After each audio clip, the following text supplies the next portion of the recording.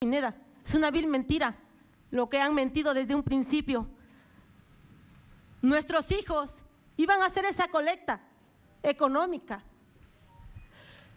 Muchos la hacen para ir de vacaciones a veces.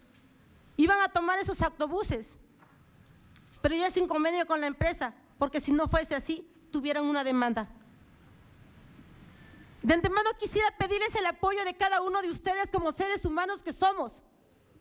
Antes de ser diputados, como personas, como madres, como padres de familia, si tuvieran a un hijo desaparecido, yo no creo que siguieran trabajando. Nosotros hemos tenido que dejar nuestro trabajo para buscar a nuestros hijos. El amor de nuestros hijos que nos han robado, porque se los llevaron detenidos ese día. El día 26 y 27 de septiembre se los, fueron, fue una represión, fue una balacera.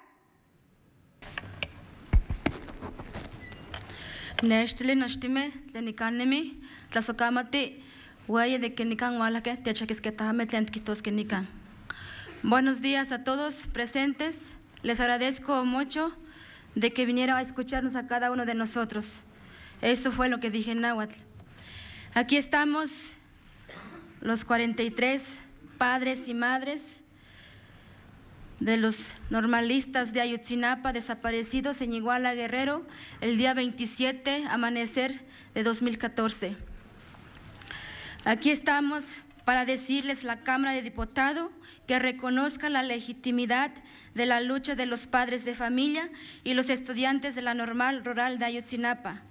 Desde antes que ustedes estuvieran en campaña diciendo a la gente que, que las cosas iban a cambiar, si les daban su voto, mientras nosotros recorríamos, recorríamos llanos, poblados, barrancas, en la búsqueda de nuestros 43 hijos. Jamás recibimos de ustedes ninguna palabra de apoyo.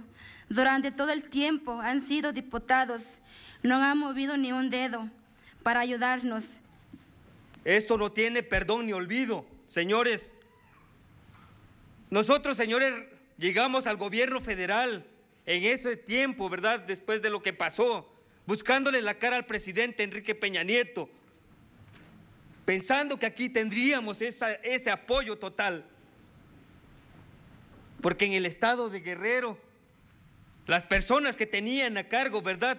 Como el presidente municipal de Iguala, ¿verdad? Pues resultó ser una persona coludida con la delincuencia, o la delincuencia misma ella, él que ejercía. ¿Cómo es posible, eh, habiendo militares, verdad, ahí en ese pueblo, verdad, de Iguala, federales, ministeriales, estatales, verdad, y toda esa bola de uniformados que solamente servían para proteger o sirven para proteger a la delincuencia? Tantos años, verdad, este, ahí y no saber cómo en realidad es ese pueblo.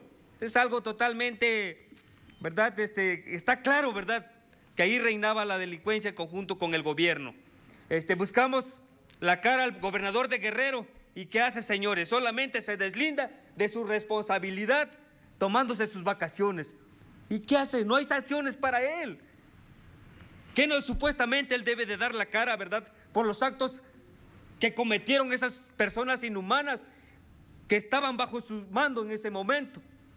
Pero señores, al gobierno federal parece que les tiene miedo a esta clase de gobernadorcitos, de presidentitos, porque no les quiere poner la mano, ¿verdad? Y llamarlos a juicio, a llamarlos que respondan por los actos